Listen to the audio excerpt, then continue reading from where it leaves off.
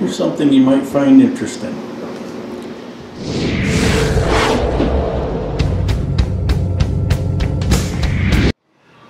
Got a big announcement.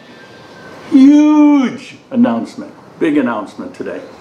And you're going to hear a little background noise because this is the time of day. There's a couple hours. The workmen go crazy. The dog barks because of it. Plus, I got this washing machine going in the background, washing up. I rented this washing machine. They dropped it off. Right now it's 11 o'clock in the morning on Friday. They're picking it up Sunday at 1 o'clock and it costs 17,000 pesos which is just under six dollars to rent I've been washing my clothes by hand actually in that little sink there and um, I decided to go ahead and give this a try so I've let everything build up I've got all kinds of sheets and blankets and towels and oh my god, there must be 25 black t-shirts. so we're going to give this a try, see how it goes, and uh, I'll let you know. So first, I got a little clip here about water.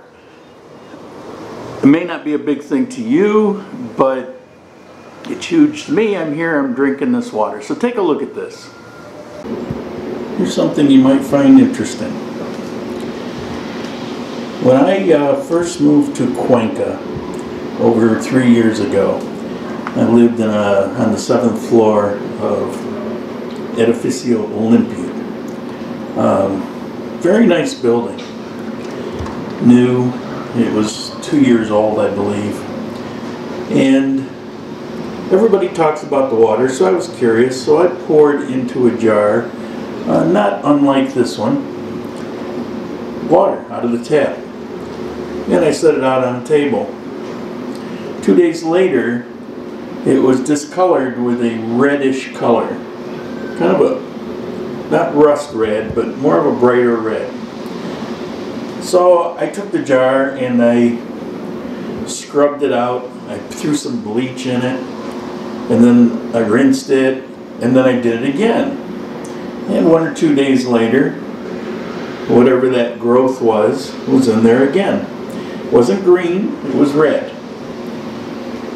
And I tried it a couple times after that, always got the same result, something grew out of that water. So here I am in Armenia, Colombia. And um, this is filled with water.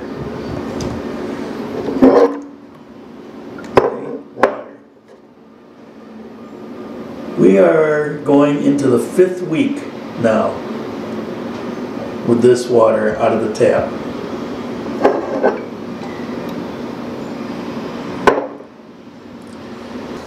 I drink the tap water in Cuenca. I drink the tap water here.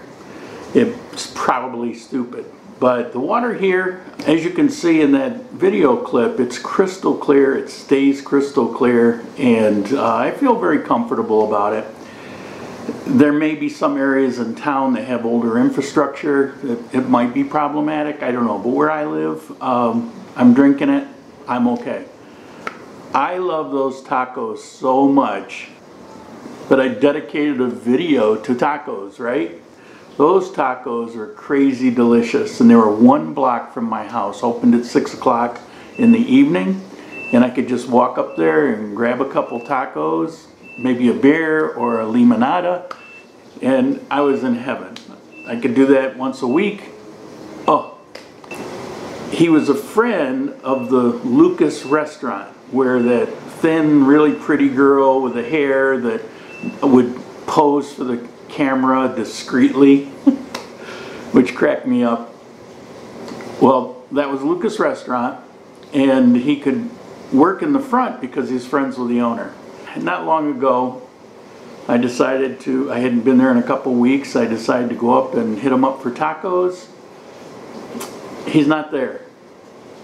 And the sign that said Lucas is now Juan. Changed hands. I was devastated. So I start searching on Facebook. I, during a search, I found the girl with the frizzy hair, so I sent her a message and she responded back. Apparently, they moved up near Portal Quindío. Well, I'm not going to walk up there. I mean, during the day, if I'm going to go up there for some purpose, I don't mind the walk. It's only about 15 minutes. But just to grab a couple tacos, eh, it's not going to happen. And I don't go out at night usually anyway, so by the time I walk up there, when they open, get the tacos, come back, it's just not something I do. I'm an early riser. I get up 4 or 5 o'clock in the morning. I'm in the house here by 6, 7 at the latest. I go to sleep about 2 in the morning. My tacos for now are gone. Yeah, there's other tacos, but those were special tacos. I don't know why, but they were really, really good. The big news, the big announcement. Finally. Now, it's an older phone. It's a Samsung S7. I think that's the one that would blow up. this one was brand new in the box. Guy here, uh, probably 18, 19 years old. His sister, older sister, who actually lives and works in Germany, who I met. She's back here on a two-week vacation. She gave him this cell phone as a present, except he had just bought a better cell phone. Uh, this is a really good phone, but it's, you know, a couple years old. And he just bought a state-of-the-art new one. So he had no use for it. So he put it up for sale. Bargain price, 700,000 pesos, 200 and some odd dollars. Well, I've been a little poor lately, um, kind of living on the edge. So I, I just couldn't give him the 700,000 or I'm going to run out of money. So I said, how about 600,000? That's, that's about all I had.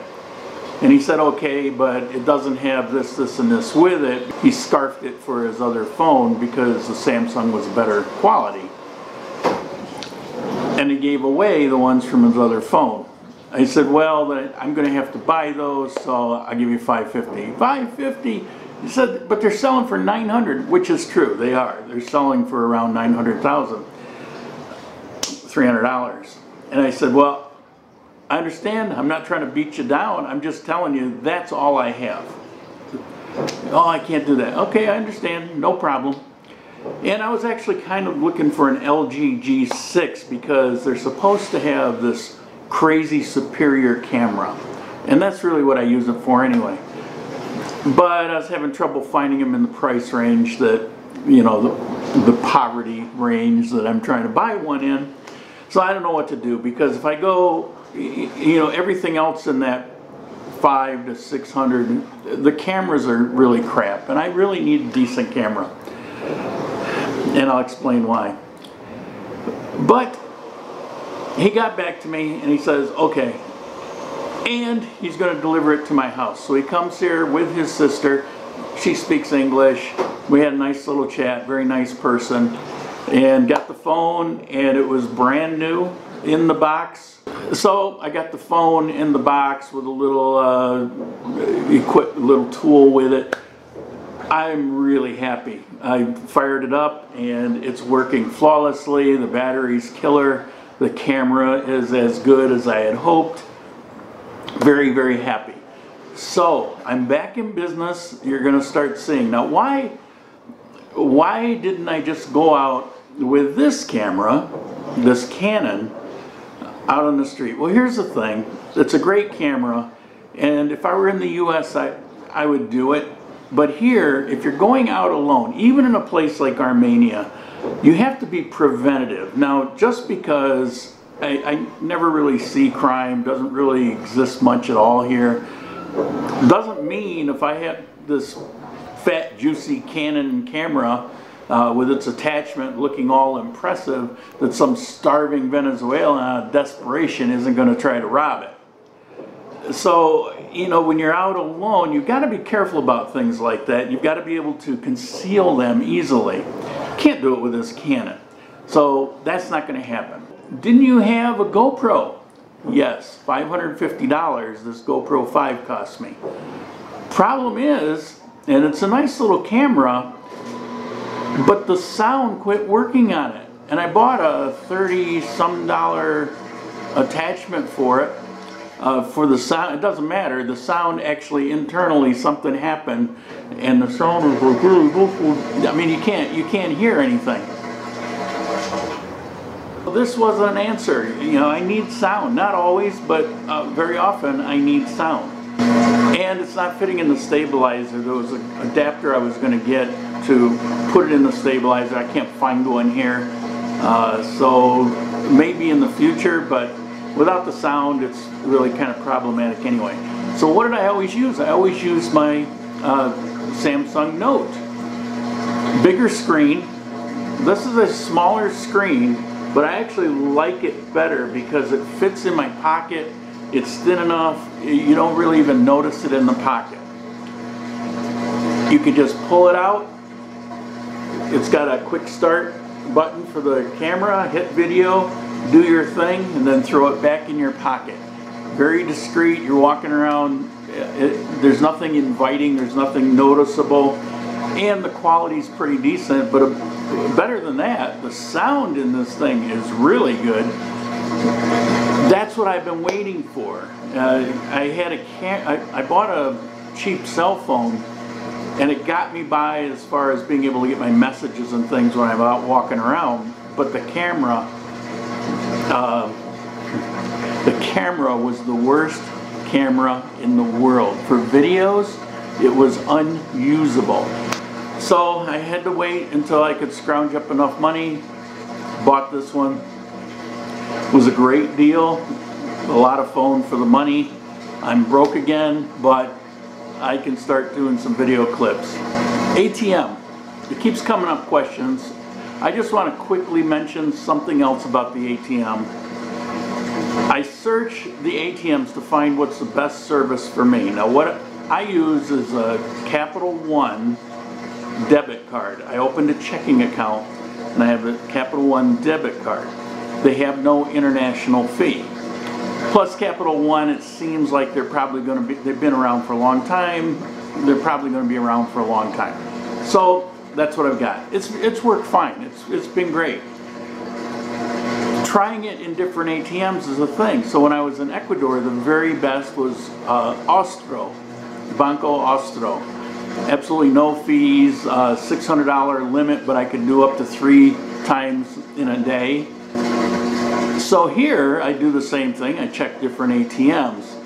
And you have to be careful because they can be pretty expensive. Like Bancolombia, which has been around forever, it's the big bank.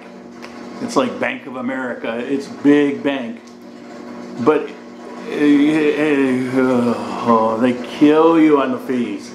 They charge you a big fee, 18,000 pesos, uh, $6, $6 on the fee, plus they hit you several hundred pesos on the exchange rate. I mean, so you're getting on both ends. It's terrible. Uh, the washing machine just stopped. Yay. Now, Davivienda has no fee. And they only hit you about a hundred uh, pesos per dollar. So if the exchange rate is 3,100, you're going to get 3,000 basically. Not bad, pretty good. Colpatria has a big fee, except with Capital One, there's no fee. It's it's canceled out. It says there's a fee on the screen. When it comes down to it, there's no fee. And you get current, up to the date exchange rate. As a matter of fact, I tested it out. I went on my uh, phone, I checked right now what's the exchange rate this very minute. Then I went in, I put the card in, and it was exactly the same, 31.52 it was. And that's exactly what I got with no fee.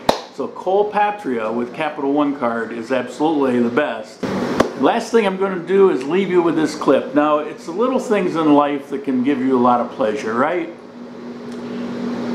Three years in Ecuador, you really lose your expectations because it just brings disappointment or frustration. So if you want to have a good hamburger, I mean, it was fun to make videos and things, but yeah, you know, it's kind of, if I want a hamburger, if I, lobster, forget it. There's, there is no lobster. So there's certain things in life that it's like, it'd be nice to have once in a while.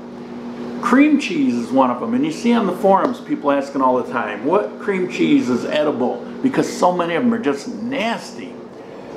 So I hunted around. I found a cream cheese in uh, Super Maxi in Cuenca. I don't remember the brand now, but I mentioned it in the video. It, it wasn't bad. It might have been Alpina, which is actually a Colombian product. It wasn't bad. It wasn't great. It was just you know, so-so. It didn't have that horrible taste to it, but it just wasn't that cream cheese like Philadelphia. I hadn't had Philadelphia cream cheese now and going on four years. It's a small thing.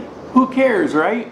They add up. They add up to a lot of frustrations. Well, here in Colombia, pretty much everything is available. Now, I just kind of fall into a rut of no expectations because of all that time in Ecuador. I come here, I'm not even searching out certain things. I'm just going and buying, you know, eggs and bread and milk and, you know, plus poverty will do that to you. Anyway, I need to go down to the Supermercado in Laurales, which is uh, near Portal Quindío Mall, which is about 15 minutes from here, because that's where I can get Granos bean coffee that is, is actually my favorite. It's called Sorrento, not Salento like the town. It's called Sorrento, double R. It's crazy good. It's, it's my absolute favorite. It's the only place I can buy it. And it's pretty reasonable. Uh, 15, 16,000 pesos. Five, under $6 for a big thing. So I go down there for that, but I'm walking around the store.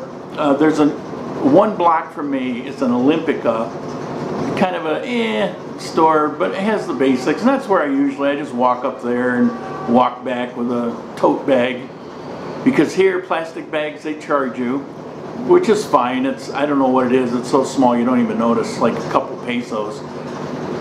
But they're really small and they're really weak, but they charge you can buy a tote bag for like 70 cents and it's this big durable thing. I keep forgetting them. I've got a collection right now of probably 15 of them. But um, that's where I usually go, but they don't have that coffee. So I go up there, I get the coffee. I'm walking around the store, checking it out, saying, oh my God, look at this. Oh my God, look at that.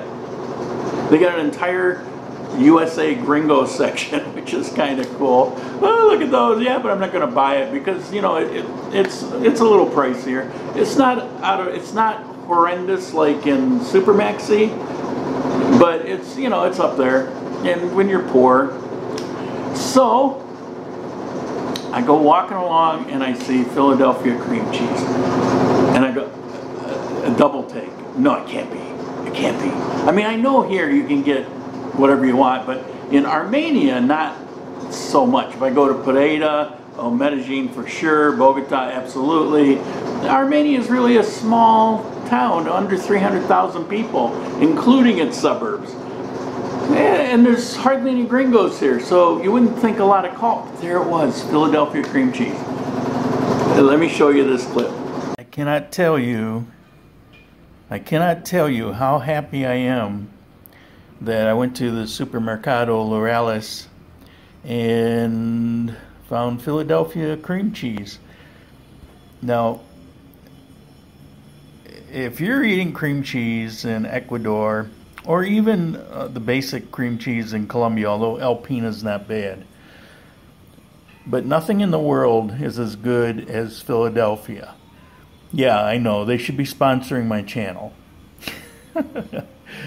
but it's been almost four years since I've had Philadelphia cream cheese, and so I got it and I broke into it, and oh my God, you start to wonder if it's just your imagination. Was it really as good as you thought it was? Uh, I'm here to tell you, absolutely yes. Huge difference. Best cream cheese in the world. Oh, happy boy. So I got that cream cheese, I got home, I opened it up, I whacked off a slab of it like this, and I just, I had to know. I mean, am I just, you know how you kind of think back and things are, there's more color to them, there's more flavor to them, life was better. I mean, as time goes on, right, it comes distorted. So eh, maybe that's the case here. Oh my God. It's exactly as I remembered it. Crazy good. Ah. It's little things in life. It's little things in life. I got that. I got a stabilizer. I got some time over the next week. I'm going to be doing some clips. Within the next two or three weeks, I'm going to hit a couple of the small towns nearby. I'm excited to get back into the business. But I do have to finish the series. I've got two more episodes. and They're going to be sitting right here on this couch going blah, blah, blah, blah. But I'm telling you, I got scenery coming. Hang in there. You haven't subscribed, please do. If you're not contributing to the channel, but you're getting something out of it, please contribute. I mean, a couple dollars a month. Please, please, please. Things are expensive. Would really like to replace this camera one of these days. I've got a GoFundMe account. Absolutely. Feel free. Put that all aside. Thank you very much. I'm up to 2,000 subscribers. Woo! It's big for me. And on top of that, uh, since I began this puny little channel talking about blah, blah, blah daily things, I've got half a million views. That's a lot. I know there's guys out there that have millions of subscribers and multi-millions of views, but for me, this little bitty channel,